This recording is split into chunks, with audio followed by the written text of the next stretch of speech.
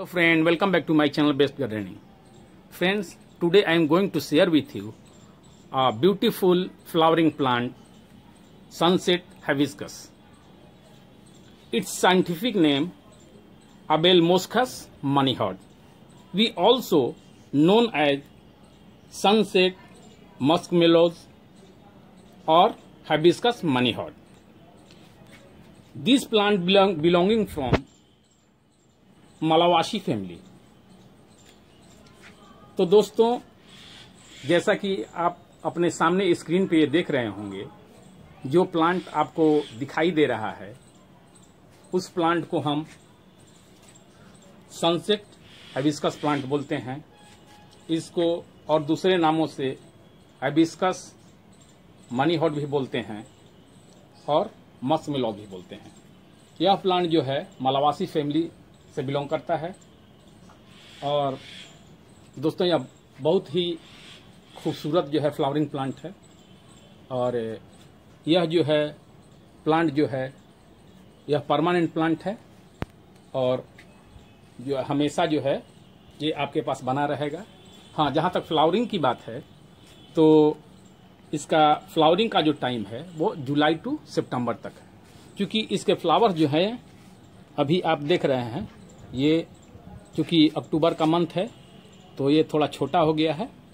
नहीं तो कुछ दिन पहले, सितंबर मंथ में, तीन और चार फ्लावर लगभग एक ही साथ जो है, वो इस पे खिले हुए थे।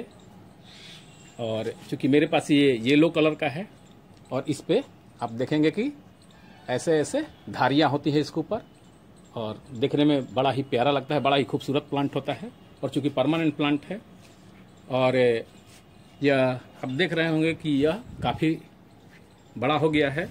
ऐसे तो इसका हाइट जो है, वो नियर अबाउट थ्री मीटर्स तक जो है नाइन फीट तक, यह जो है, इसका हाइट होता है।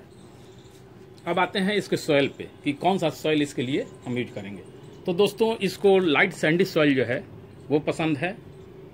और सॉइल जो है वो मुआस्ट होना चाहिए। इसको मुआस्ट सॉइल पसंद है। तो आप, अगर इसका सॉइल जो है, वो तैयार करना चाहते हैं तो उसमें गार्डन सॉइल, उसके बाद काउडंग कंपोस्ट और उसके साथ सैंड। तीनों बराबर बराबर की मात्रा में ले लें और उसमें से जो है थोड़ा नीम खल्ली ऐड कर लें, क्योंकि पेस्टिसाइड के लिए और सा पाउडर का भी इस्तेमाल आप उसकी जगह कर सकते हैं। तो इस तरह इसका सॉइल हम तैयार कर सकते हैं।